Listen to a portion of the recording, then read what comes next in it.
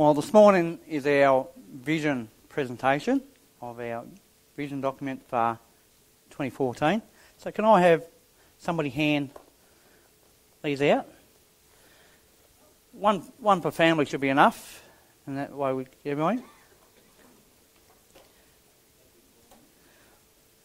Bill Hybels, who founded the Willow Creek Church in, in America, and um, it's spread to the Willow Creek Association now and has impact right around the world.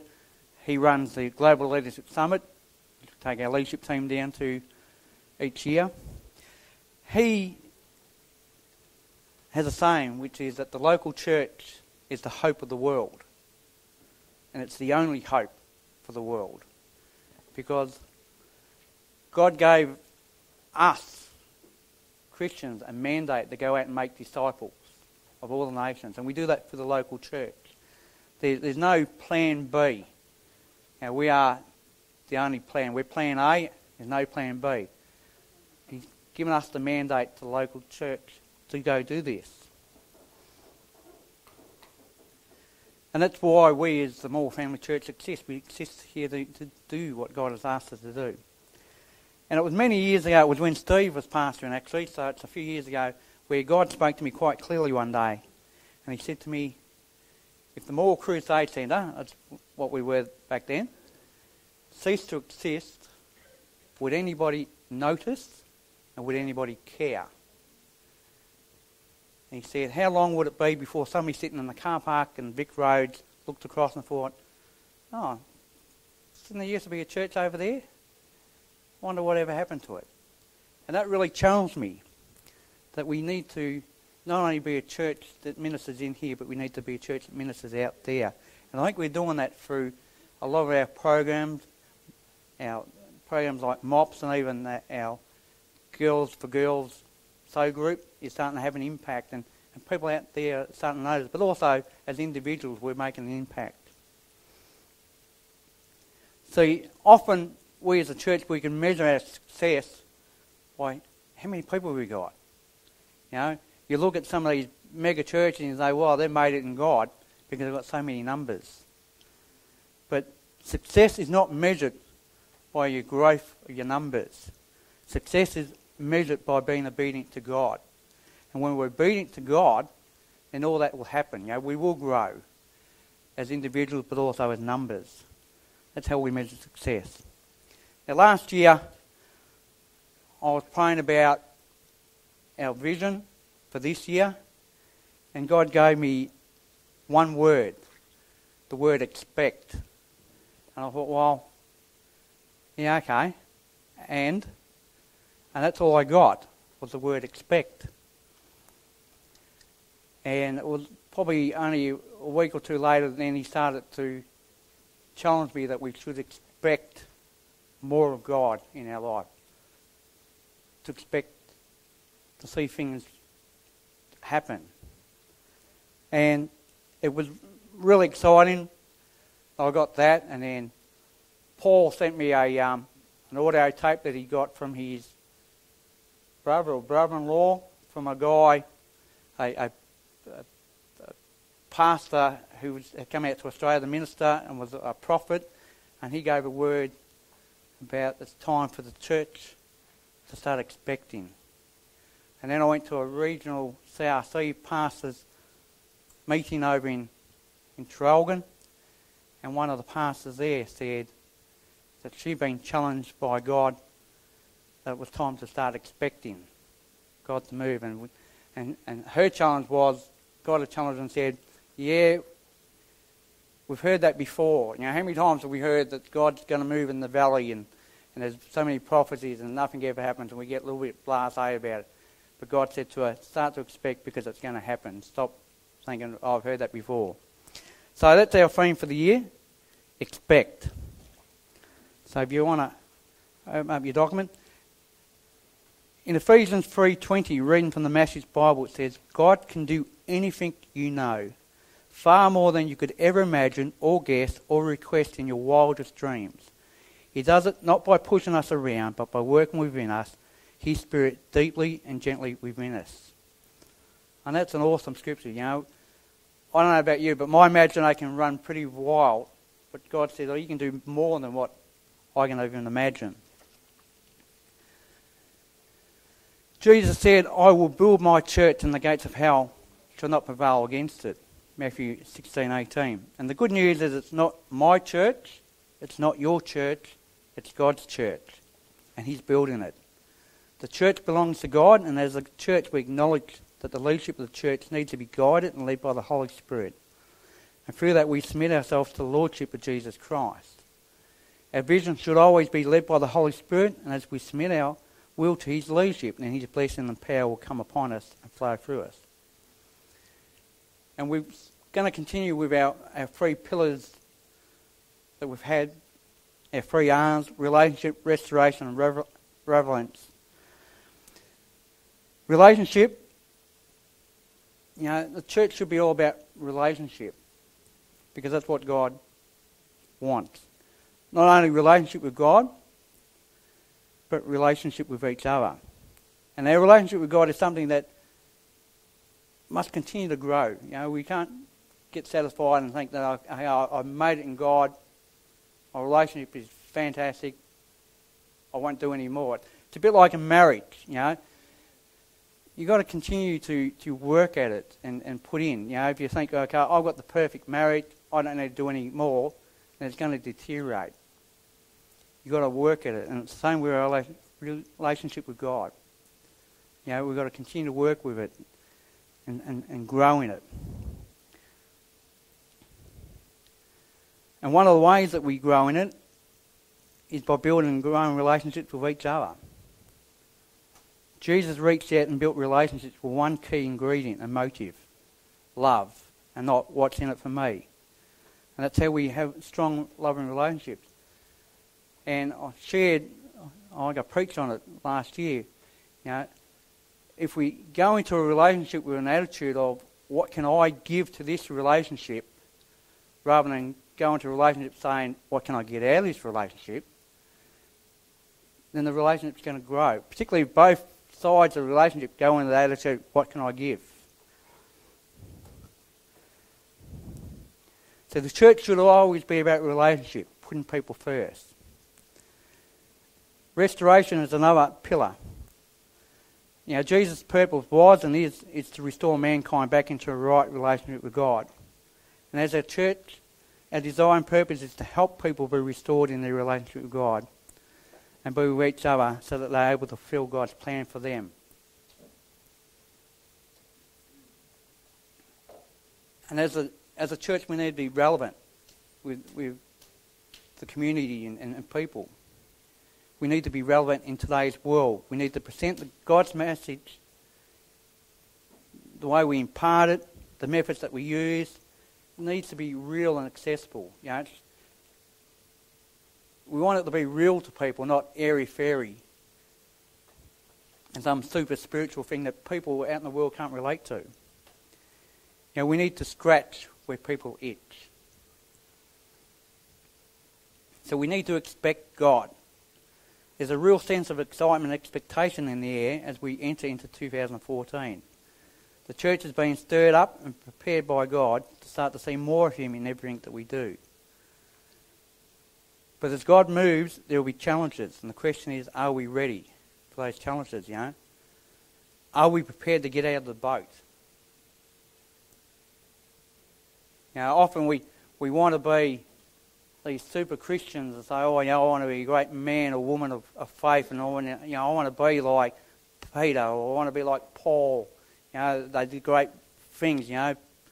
Peter, the super Christian, walked along and his shadow fell on people and they got healed, you know. But he, he got challenged. You know, you had to get out of the boat. He had to get out of the boat. He had to get out of his comfort zone. So are we prepared to get out of the boat? So we believe 2014 is the year to expect. To expect an encounter with God every time we come together as a church or as, as an individual. Proverbs 8:17 says, "I love those who love me, and those who seek me diligently will find me." Luke 11:9 to 10 says, So I say to you, ask and it will be given to you, seek and you will find, knock and it will be opened to you. For everyone who re- asks receives, and he who seeks finds. To him who knocks it will be open. And Jeremiah 29 says, For I know the thoughts that I think towards you, says the Lord, thoughts of peace and not of evil, to give you a future and a hope. Then you will call upon me and go and pray to me, and I will listen to you. And you will seek me and find me when you search for me with all your heart. So we should expect an encounter with God because God is with us. You know, He says, you know, you seek me, you look for me, you'll find me. You know, it's not Him that goes away, it's us that goes away from God. And as we push into God, we should expect to see growth in ourselves and in the church because nobody can spend time in the presence of God and not change. We should expect to see signs and wonders, to see the Holy Spirit moving and ministering in our meetings for the gifts. God said in, in Hebrews 2 4, it says, God also bearing witness both with signs and wonders with various miracles and the gifts of the Holy Spirit according to his own will. We want to see more of that. You know, it's not something that died off with the apostles. You know, God is the same, what he was yesterday, today, you know, and things like what happened to Bevan with the tape, you know, we should expect that at times, you know, because that's the God we serve, you know. We should expect to be able to lay hands on people and, and, and see that the miraculous healings. We should expect to see God answer our prayers and respond to our prayers because that's the type of God He wa- is. He wants to respond to us.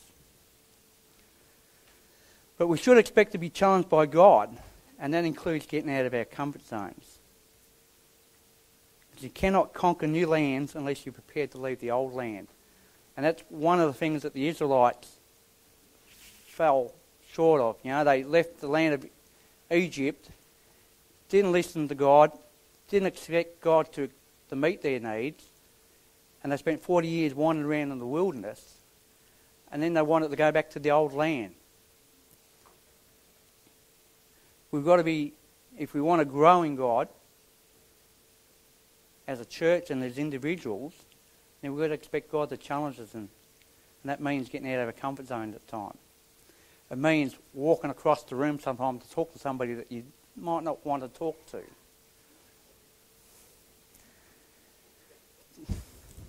Yeah. She's learned how to burp lately, and it's a new novelty. So, so, and she, so she gets a good reaction too. So, so the cry of our heart should be, "I want more of you, God."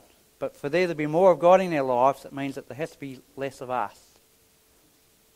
And that, that can be hard sometimes because God says, okay, you know, we get all super spiritual when we pray you know, I want more of you, God. And God says, yeah, okay, give this up. You know, well, yeah, I like doing that though. You know, it's, it's, and it may may be something, you know, that's bad for you that you have to give up, but it may be something that's getting in the way of God. You know, and we've made it into an idol, and that's a challenge to say, okay, God, you identified, it, you told me to get rid of it, I'll get rid of it. And one of the things I've learned is God does not always do things the way we expect. So we need to expect the unexpected. And we kind of sometimes try and put God into a box. We say, okay, I'm going to pray this, God, and you're going to do this, and this is the way it's going to happen, and this is going to be the result. And God says, okay, but no, that's not how I'm going to do it. I'm going to do it completely different and the end result will be even better than what you wanted. So we've got to expect the unexpected. To grow in our faith, we must expect to be challenged in our faith. It is only when we use our faith that it grows. It's just like in the natural, you know, you've got to use your muscles for them to grow. So if we want to be men and women of faith, then we should expect God to challenge us to grow in our faith by causing us to use it. And one of the keys is found in Hebrews 12 It says, Therefore, we also, since we all are surrounded by so great a cloud of witnesses, let us lay aside every weight and every sin which so easily ensnares us. Let us run with endurance the race that is set before us, looking unto Jesus, the author and finisher of our faith, who for the joy that was set before him endured the cross, despising the shame, and sat down at the right hand throne of God. The first thing there that, that Scripture says that we need to be prepared to lay aside anything that stops or impedes us in doing what God's asked us. But the key is keeping our eyes focused on Jesus the entire time, even when unexpected things happen. As a church, we cannot expect to stay in our comfort zone. Jesus taught the disciples to grow in their faith by getting out of their comfort zones. Relationships are important, and they are one area that the enemy will attack us. So often we, and I get guilty of it, you, you have, an, have a conflict with somebody, and you pray about it, and you say, okay, I'm going to do the Christian thing, I'm going to deal with it, and this is the way it's going to turn out, because this person's going to repent of their sin, because they, they're, I'm never wrong, they're always wrong, and, and the relationship's going to bloom and blossom. And we go and we do the right Christian thing to this person, and they react totally different to what, and, and it gets worse. And, and the natural reaction is to say, well, okay, blow you, you want to be nasty, I can be nasty too. And we've got to be aware that that's the area that the enemy will always attack is relationships. You know, he's, he's in the game of trying to tear down marriages, tear families apart, and, and tear churches apart. And that's the area that he'll attack is relationships. So we always need to pray about and and we need to keep our eyes on Jesus. Yeah. Hebrews 12 says we're running a race and we need endurance because sometimes it takes a little bit of time to work through a situation. And, and you might be in a relationship that's going wrong, you know. And I'm talking, I'm not just talking about family or marriage relations, but friendships, and they're going wrong. And sometimes we've got to endure because God's dealing with issues in that relationship. And we, but the key is that we've got to keep our eyes on God for that entire time and, and keep our attitude right. See, God tells us in Ephesians to endeavour to keep the unity, even if it means getting a little bit uncomfortable. Are we prepared to love the people that God sends our way? And that's the challenge. Because I always remember Jerry Cook shared at a conference I was at. Jerry Cook was a pastor over in America. And his church had been praying for revival for years. And one day God said to him, You don't really want revival. And he said, Yes, we've been praying for it for years. And God said to him, No, because if you really want revival, every person I send to your church, you've got to accept. And he, he challenged his church, and his church said, Yeah, we want it. And they got revival right. They got every prostitute and drug dealer and that in town came to their church. Prostitutes would work the Saturday night come to church Sunday still in their gear. And they would get up and they would dance on the seats and all that. And he said it was a challenge. But they got revival and they got changed. These people slowly changed. And he said also they had to have patience and endurance because these people didn't change overnight. They still went out the next week and prostituted and did their drug dealing. He said it was a slow process, but they got revival. So are we prepared to love the people that God sends our way? And it might not be that blatant. It might just be that irritating person that sits in your seat. You come to church and somebody's sitting in your seat. And they don't look the right way. They sing out of tune. They may even smell. You know. Are we prepared to love them? The key is keeping your focus on Jesus. Jesus got in trouble because of the people he hung around with. The religious people, the Pharisees, didn't think that these people were good enough. But Jesus hung around with them, and, and the result was he got revival. Our programs and strategy, as in previous years, you know, as a, as a church, we've spent time discussing our several areas. We had our vision planning meeting a while ago, and we talked about the, our seven areas and how to work them out and, and what needed changes. And then the leadership came, came together and went over their notes and, and, and sorted it out. So this, the areas are worship and celebration, gift orientated ministry, family and children, youth and young adults, encouragement and care, evangelism and witnessing, and missions. And we'll discuss these areas over the following pages. But I wanted to say, in presenting this vision document, once again, the leadership team has spent time evaluating these aspects raised in the meetings, determining which can be achieved over the 12 months.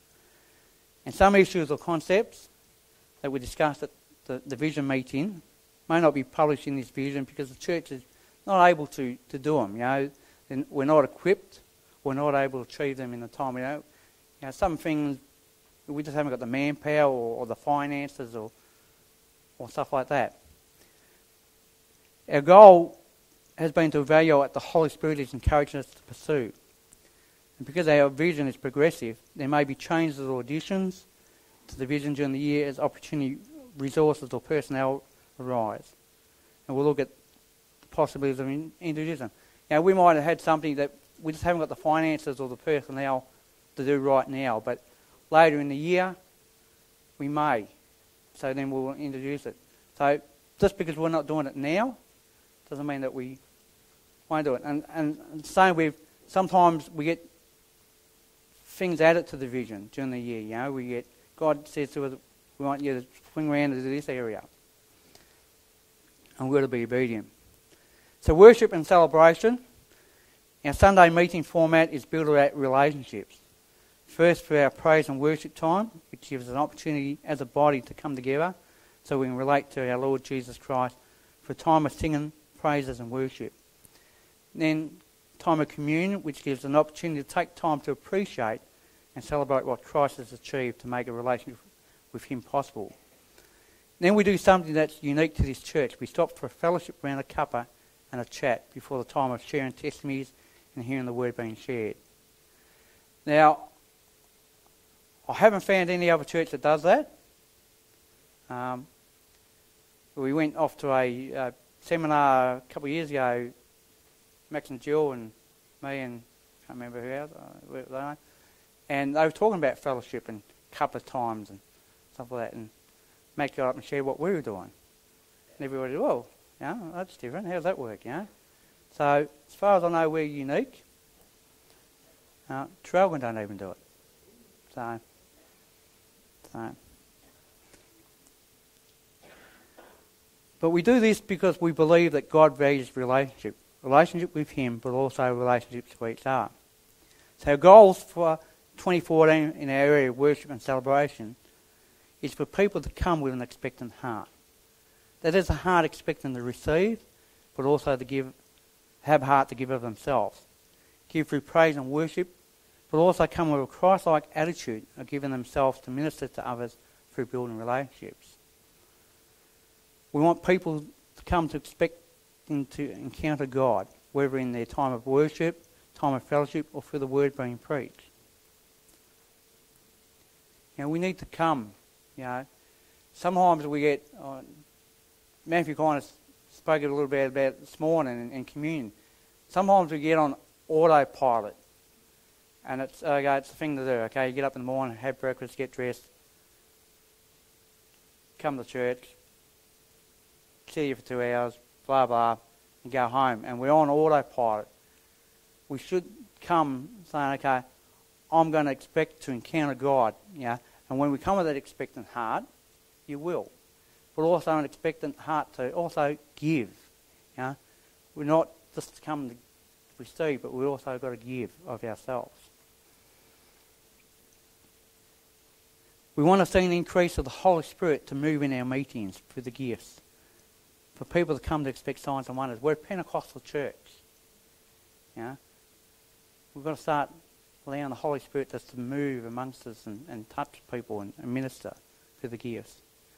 We want to give opportunities for our younger members of the church to engage in the meetings as they're an important part of this fellowship. So we're looking at ways to engage them for the worship time by the use of drama, skits and action songs. Now, at the moment, a lot of our young ones are turned off. You know, they're not in tune with praise and worship. It's for the grown ups. What we want to do is try and engage them by making it exciting. We, we're tossing up some ideas, you know, of um, maybe some action songs where the younger ones can participate, a bit of drama, a bit of skits, you know. Um, a few different things to, to so it's not not just routine all the time. So we're looking at that. So maybe God's challenging you. You maybe you're artistic, and you've got a skit that you could do, or even a little play. So pray about it. We're so blessed with our talented musicians and singers, but we want to give opportunity to grow and expand our worship team with new members, particularly some younger musicians and singers. And it was good this morning to see all our young ones up playing the instruments, and and Paul and Matthew, yeah, so, so, so, yeah. But we want to expand that, you know. We've got some talented people in our church. And a lot of talented people hide their gifts. We've got to try and pry them out of them and, and get them to use them. So we want to expand our, our range of musicians and our, our singers. And to facilitate the growth in the direction of the worship team, Paul is going to become the music director, just to give it a bit of direction and, and, and coordinate it. So uh, we decided at the leadership team meeting, we asked for volunteers and everybody stepped back one step and Paul was the only one that hadn't stepped back. So, so, but no, you don't want me to be music director because so, so, you want somebody that's got some musical talent. So, so Paul's going to do that. So and that way just have a bit of you know we, we've got a great music team and and they you know it doesn't matter who we have up here leading worship it flows so well but just want to make sure that we keep that unity and, and keep that vision and, and direction going gift orientated ministry our challenge last year was to feed ourselves and as we feed ourselves we should expect to see growth now it's like in the natural if you eat you get bigger some people bigger than others uh, but it's a continual process. Just in the natural, we need to continue to feed ourselves so it's in the spiritual. One of the ways to grow and develop in our Christian walk is to have somebody encourage and challenge you in your Christian walk. Someone who you can share with where you're at and encourage you when you're going through difficult times that are coming your way. So the challenge is if you're not being mentored by somebody, ask somebody to challenge you and, and be mentored with you. You know, because it's, it's good to have somebody that you can talk with. You know, particularly when you're going through difficult times and you're thinking, I can't see where God's in this. And you get a fresh set of eyes, they can say, well, maybe God's trying to show you this. And you go, oh, yeah, I didn't see that. Often when we say ministry, many people think of Bible studies or preaching. But many people do not have the call to preach or teach their ministry is to serve others by doing practical things such as washing dishes, cleaning, or welcoming people with a smile. And some people just have that real gift to be able to go up and, and talk with somebody and, and make, fr- know, the type of person that makes friends so easily. But they also like doing stuff for people, like serving people by washing the dishes or, or, or being on the hall cleaning team. So we're going to do a survey. We're going to send out a survey in a little while. Um, so if you want to do that sort of thing, now I've had a couple of people approach me and say, "We really like washing the dishes. Can we please wash the dishes?" My attitude is, "Well, come around my place. you know, you know, we've got plenty of dishes." But they they just love that. That's their gift, and they like serving people by doing that. Now, I don't like going up to people and say, "Can you go wash the dishes, please?" You know, but some people like doing it. So we're going to do a survey, so you can say, "Yeah, I want to wash dishes. I want to come around what, pa- uh, mow the pastor's lawn." so, so I've only got a small lawn, so it doesn't take long. But, but yeah. So we want to help people discover, develop, and grow their ministries. You know, because some people, that's their ministry. And they're not using it. And they're feeling dissatisfied because they're not using it. So we want to help them develop and grow their ministries. Our Sunday nights, we want to continue with our short term Sunday night group studies covering various topics. Last year we did the gifts of the Holy Spirit. Also, we did Who Do You Think You Are, where you discover your identity in Christ. So, this year we're going to look at some topics such as using the gifts of the Holy Spirit. And we'll, whatever, you know, if, if you've got a desire for something, you want to learn about something, if, if there's enough people, we'll, we'll set up a group and run it. Another option we're looking at is, you know, we ran it a couple of years ago where we did book reviews, you know, kind of like a book club. You got together and read a book, and then you come together and, and discuss what you're getting out of it. So we're looking at sort of, that sort of thing. And also, because we believe relationships are important, as a church, we're going to run a, a marriage relationship seminar later this year. Uh, we were going to do it in March, but it clashed with uh, Mothers on the March. So we, we rejigged it and we're going to do it later on in the year. Our small groups are one of the best ways to encourage and fellowship friendship. Christian growth and solving questions and training and creating opportunities for relational, social interaction. That's a bit of a mouthful, isn't it? I wrote it down, but. So, uh, are you interested in starting one, yo? We had a couple groups start last year the carpet bowling, uh, the Sow and Chat group, the Girls for Girls group. And the key is I, I can go around and say to somebody, I want you to start the group for this. But if you get the vision, you get the desire, it's your vision, and you got the passion for it, and then the group takes off because you got the passion. So if you've got the passion for something, God's laying something on your heart, then come and see us about starting a group. Now we've put the men's group Lean on Me into recess for the time being. And instead of having the men's study group, we're looking at having various activities for the men during the year, such as a men's breakfast or, or various other activities that men can get together with. And these activities will be specifically for the men. So maybe God's challenging you to, to do something for the men. Let us know. Anybody can start a small group which can have any purpose. It can be spiritual, practical. Now, we often think, oh, should we have something like carpet bowls? Because what's spiritual about that? But when you carry them together in a social environment, discussion and relationships are built. Jesus went fishing. What's spiritual about that? Good thing, we he always caught fish. I go fishing, I never catch anything, so that's one thing you'll have to do when I go to heaven. You have to take me fishing. So, I say.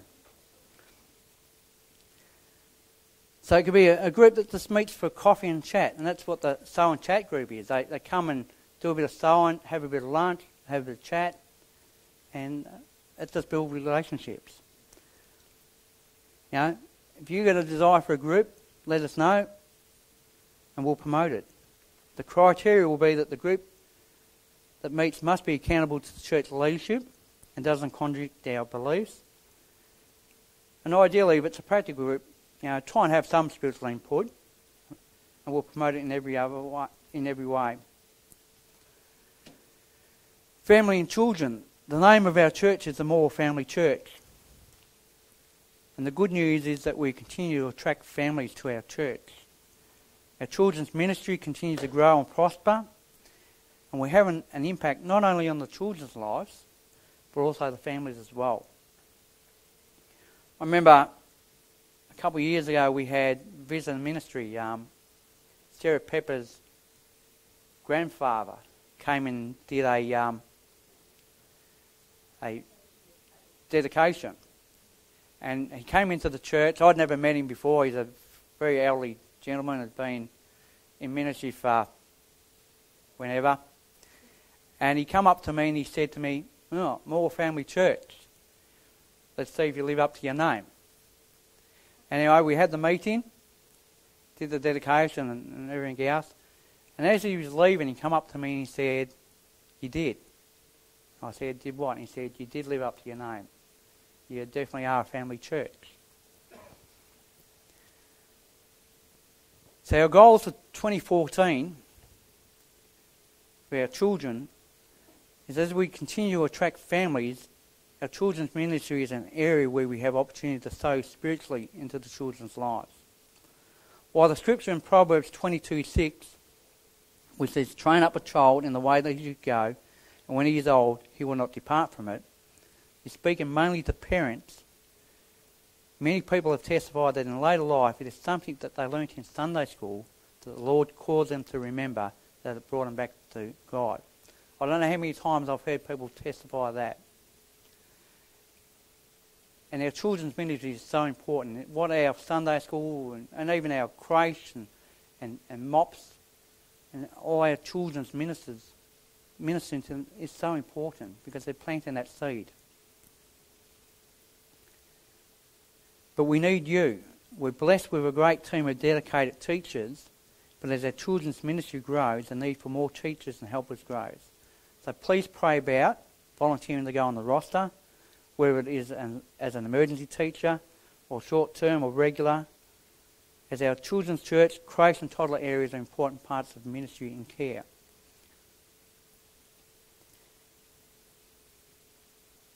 We are always looking for volunteers to help out. And, and you can be, you don't have to put your hand up and say, I want to do it for the 12, full 12 months. You put your hand up and say, okay, I'm prepared to go on emergency. If somebody doesn't turn up, I'm prepared to fill in or, or I'm prepared to do it for two months. Mothers of preschoolers is an area that's continuing to have an evangelistic impact on people's lives. Through MOPS, many mothers are being ministered to and the opportunity for building relationships and restoration, restoration to many mothers who are not affiliated with the church is being created. As the mothers are ministered to, it also helps the rest of the family. For what they need, once again, is more carers. This is an opportunity to serve by becoming a MOPS carer, being part of a team that ministers to, looks after young children while MOPS is on, and it allows the mothers some free time to be ministered to. The more carers that we have, the more MOPS, mums that we can have. Now, it's just a time for the mums to have some time out from having to look after their little ones and just get ministered to. So if you're getting challenged on that, if you've got a free couple of hours every fortnight on a Monday, see Jill or Joanne, and uh, I'm sure they'll say, yeah, we'll take you. Creating friendships. We need to continue to encourage to build and create relationships by reaching out to others in social activities, which include you as parents and your children. Families need friends. Friendships work not by only in keeping us together as a church, but also growing the church. And new people come into the church because they've got that relationship, that friendship that they built with somebody. Youth and young adults. Our youth group, Mission 180, continues to grow and prosper as the group meets fortnightly here at the church. It's exciting to see our youth building relationship with one another, as well as growing in their relationship with God. It's also great to see many of the youth being involved in other areas of ministry in the church, such as assisting in Sunday school, creation worship. So the youth group was born out of a, a, a vision and a passion that Robin Beck and, and Matthew and Donna had. Uh-huh. We could have gone as a leadership team and, and appointed somebody as youth leaders, and it might it may have worked, it may not, but they had the passion, they had the dream. And it started off very, very slowly. You know? And they kept their eyes on God. You know, even when things weren't going anywhere. And part of that reason was because they had that passion and that dream. And now it's just exploding and it's growing. And we've had to expand the leadership team a bit, you know. Peter and Charles have come on to help out as well. And we're getting good numbers. And not only are they coming on a Saturday to youth group, but they're also coming here and they're, they're ministering, they're helping out in Sunday school and, and creation and various other up here worshiping. So our goals for 2014 is that many of the youth have been involved in the area of worship. And as we mentioned earlier, we're looking at, to expand their involvement in this area. We're also looking at possibly the youth taking the entire meeting one, one Sunday where they'll do the whole thing. Look at that doing maybe once or twice a year. It's a challenge to them. They've got to get out of their comfort zone. we need to create and build relationships with not only the youth, but the families of those that attend youth group, as many of our youth families are not connected to, to the church. You know, if we have youth here and you don't know who they are, we need to go and walk across the room and welcome them. You know, you, you might have the attitude, well, what have I got in common with them? You know, they're way younger than me, but it's called getting out of our comfort zone, and we have got something in common. We're both here on a Sunday, so we need to build that relationship and find out what they're interested in, what they drives their passion. And we need to uphold the youth group in prayer. The youth leaders and the youth need to be girded by our prayers. There are many pressures. Youth are one area that gets attacked in, in, in the church. You know, the youth group is a very hard area to, to grow and develop because it comes under a lot of pressures. You know, our kids today are under so much pressure from the outside world. So we just need to pray for them, and we need to pray for the leaders, for them to have wisdom, godly wisdom on how to run the youth group and, and how to deal with situations that arise. Also, one of the ways that we can help out as a church is Robin Beck and Matthew and Donna both have young families. So if we're able to help with babysitting on, on a Saturday night for a couple of hours. You know, it frees them up to concentrate on youth group. So pray about that. And also another area, because being youth they can't drive, they haven't got licences, so they better not be driving.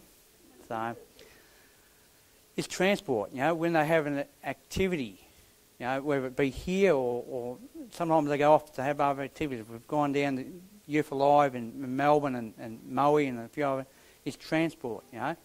And I've gone down to a couple, and it's enjoyable. You know, you go to a Youth Alive concert and get right into it. Um, Karen helped out; she was blown away when she went down. So, transport. So, if you're able to, spare, you don't have to lock yourself in and say, okay, every time youth group's on, I'm available for transport, but maybe you might be willing to help out when there's a special activity on. We'll be keep moving. I'm babbling too much. Okay, encouragement and care. You know, we need to continue to encourage and care for each other, not only in the natural, but also in the spiritual. And it's good at the moment we, we have that caring attitude as a body ministering to one another. But something that we need to continually work at. You know, we can't just assume that it's going to happen automatically. Now we've got the scripture there in Ephesians 4:15. I won't read it as we run out of time. But it's the body ministering to the body. Everybody doing their part. Everybody, no matter who you are, can do your part. You know, get on to somebody, encourage them, stand with them, give them a phone call. It's the whole body ministering. We need to look for opportunities to encourage and care for people. Not just on a Sunday, not just in our programs, but during the week. We need to show that and share God's love with people that we encounter with. And we've got to show that love and care to them where they're at. So our goals for 2014 is visitation. You we all can walk across the room we all can go up to somebody on a Sunday morning and say, G'day, how are you going? Yeah, that's part of the reason why we have our coffee break, is so we can mix. You don't have to get out there and do a Bible study with other. It's having a cup of coffee and discussing how you're going, what you've been up to, what are you doing this weekend, what are you doing after church, whatever. And particularly when we've got visitors, we make them welcome So go and say good day to them and, and invite them out. But we've also got to be mindful of people that can't make it on Sunday. Somebody might be sick or they've had something on. A simple phone call to say, hey, how you going? You know, everything's right? You, you know, can I help with anything? You know, can I come around for a cup of coffee? But we've got to not only do that on Sunday, but do it during the week as well. You know, ring people up, have a cup of coffee, invite somebody home. Now, our social interaction, Pam and Karen have done a great job organising our social activities. But this year they've decided they felt God say to them they need to step down and let somebody else step up and take the opportunity. So maybe God's are speaking to you about taking on the role. Now, you might not want to put your hand up and say, I want to do it for the whole year. Maybe you might say, well, I go, I'll just do it for one activity. So let us know if God's speaking to you. Missions. You know, not every one of us can go to the mission field. Not every one of us has got the desire to go to the mission field. But we can play our part. We do it through prayer, but also our financial support makes a difference. At the moment, we support African Action, Destiny House, Michelle Hardy up in Papua New Guinea, Life FM, and CRC Missions for our monthly missions offerings and the missions morning teas. And our Sow and Chat group has been doing hygiene bags to be sent off to the young girls in Kenya. Now, one of the things that I felt God stirring me my heart late last year was we need to do more. And we need to do something big. So I was seeking God and looking at various avenues and, and doors were shutting and not working. And then, lo and behold, Dana goes off to some conference, Victoria's conference, and through that, God speaks to her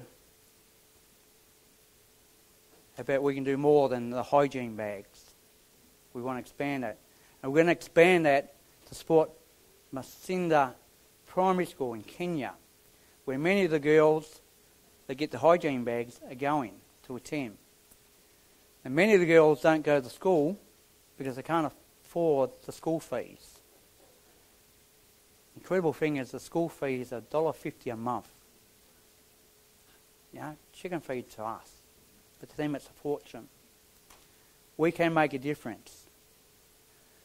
Also, the school lacks basic equipment. It doesn't have desks or chairs or blackboards. Some of the rooms aren't finished or, or they crowd them in the room. They're desperately in need of development. So this year we want to do some major fundraising to support these children and their school without taking away from our normal missions. So we're looking at some one-off fundraising ideas such as a dinner or a special weekend, to fundraise, so that we can send some money in that over so they can develop this school so that not only the young girls but the young boys can go to school. They can say, here, here's your school fees paid for. Here's some equipment. Here's some basic school equipment that we take for granted. And we're coordinating that. We've got a contact over there at the moment, and, and Dana's been in communication with her and we get regular updates of where they're going, and we want to expand that. So there'll be some major promotion of this mission area over the coming months. Our property and facility development, know, as the church continues to grow, we want to continue to develop our property. You know, at the moment we've got some work that we need to do um, to bring our building up to the requirements that the council wants, such as illuminated exit signs, some new door handles and, and things like that. And that's going to be done in the next couple of months. Our storage area at the back of the hall is progressing well and nearly complete. Thanks to Richard for all the work he's done. And subject to the finances, eventually we want to replace the roof because it leaks. Tie up the front of the building to make it look a bit better. Also add some air conditioning out the back. But that's subject to finances. Evangelism and witnessing, we need to be, continue to be a soul winning church. Because Jesus has given us the mandate, as I said earlier. He's told us to go and make disciples. See, church should be where all people, those that know Jesus and those that can't, don't, can come and feel comfortable. We have that at the moment. We must always be careful that we don't lose it. We need to be sensitive to God and ensure that all people, especially visitors, feel welcome and they feel the love and grace of God. We need to be passionate about sharing the gospel. The Apostle Paul said that we need to be ready to preach the gospel in season and out of season. The challenge is could you share your testimony? Could you lead somebody to Christ? Or could you defend the gospel? See, Jesus has done his part. Now it's your turn. Our goals 2014 is we continue to update our church website, and we're in the process of looking at various areas to add to that site and, and update and change some things around. But the website's a great opportunity to to listen to the message. If you're not able to come on a Sunday, miss them, and you want to know what was preached, you can go on the website and the message is there. You can listen to it. Or maybe you thought, oh, that message is so fantastic, I want to listen to it again. You can do that.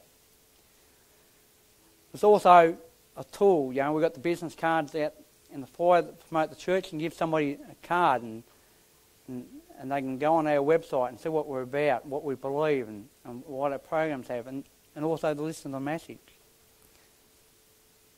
We want to up our promotion of the church. We want to start using the local media a little bit, our newspapers. So when we have an event or one of our small groups is doing something and has achieved something, we can promote it and write an article.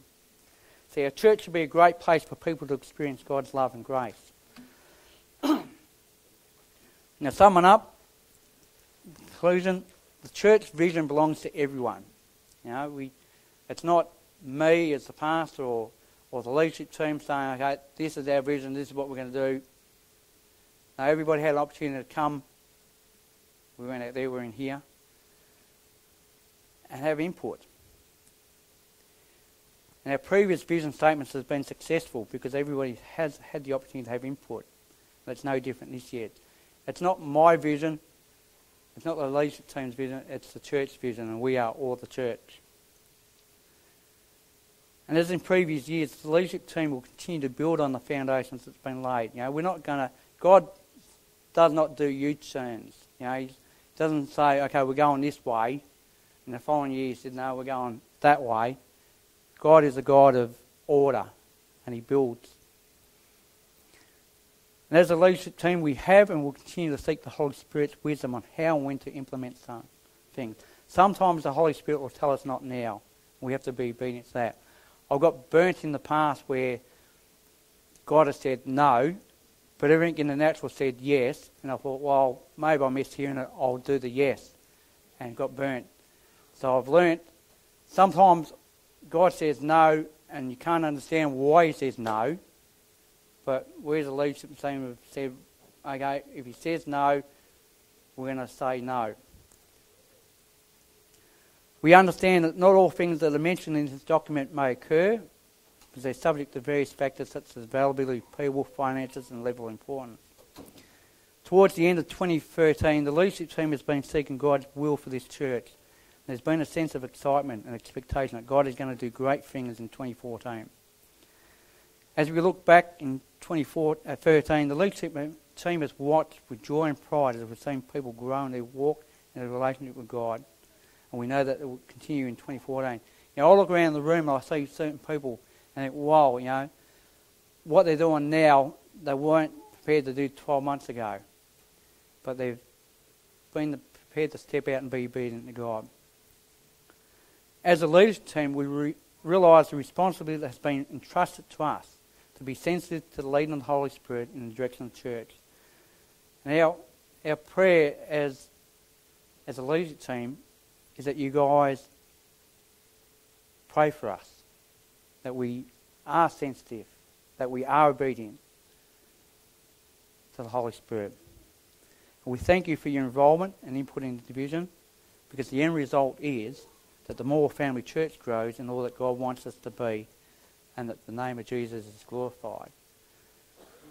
So on behalf of the leadership team, I present that vision document to you guys. Um, and I am excited about 2014. Now, In a way, I'm a bit scared. You think, oh, I wonder what you're going to do. Because I know he's going to challenge me to get out of my comfort zone. And I'm a person that likes being in my comfort zone. But I've also learnt I've got to be obedient. And God says, get out of your comfort zone. I've learnt I'm getting out of my comfort zone. So 2014, I don't know what to expect.